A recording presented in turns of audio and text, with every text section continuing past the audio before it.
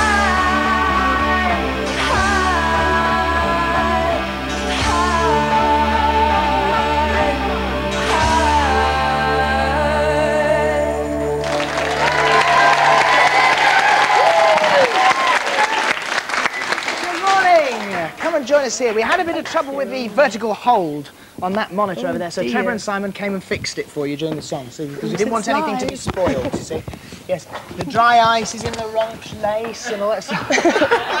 it's over here.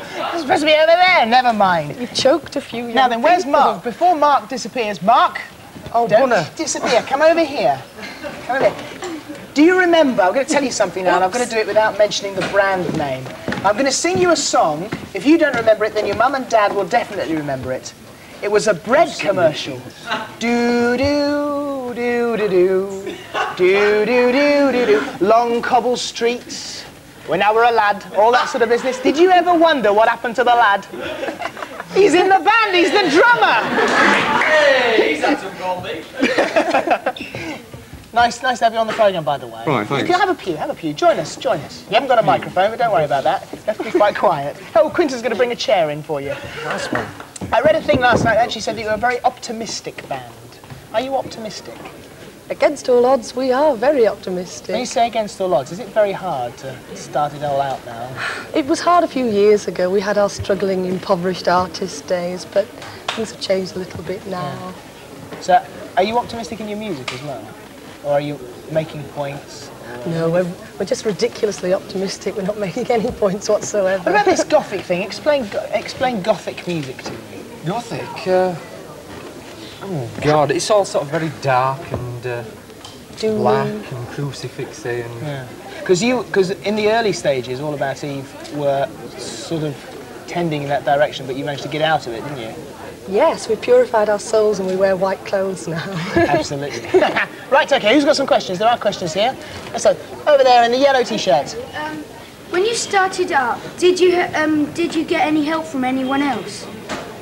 I think all of our mums and dads were good to us. They bought me my first guitar and gave me pocket money when I had no money. So I think your mum and dad has to be good to you. Okay, and another one. What about down here, down here behind me? Where did Van's name originate from? It's from an old Bette Davis film, um, an old black and white Bette Davis film, and for no other reason than we just like the sound of it, really. And we all like the film. Okay, and another one in the green. Why did you turn from a rock journalist to a performer?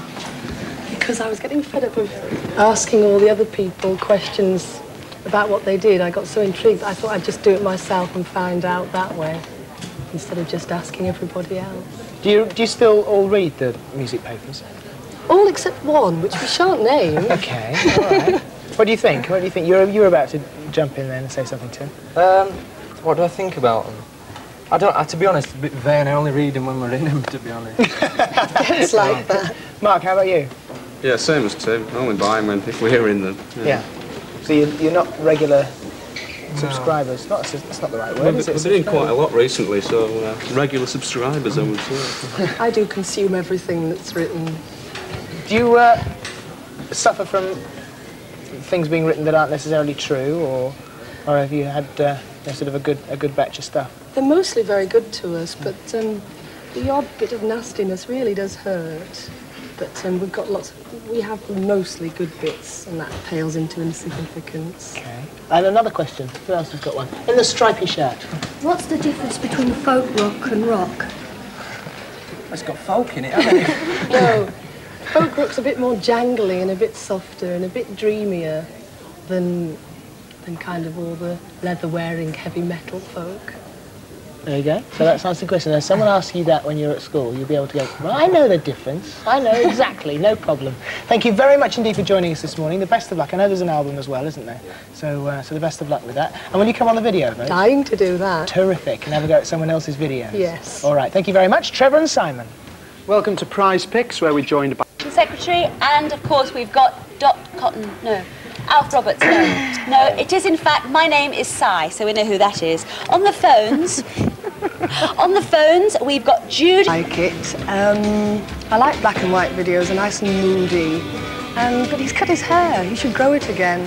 So he's going to lose points for that. You lose want him points to look that. like a goth, don't you? Hey, I Not know. quite. So for his video, he gets four, Four for the video and what for the song? For the five.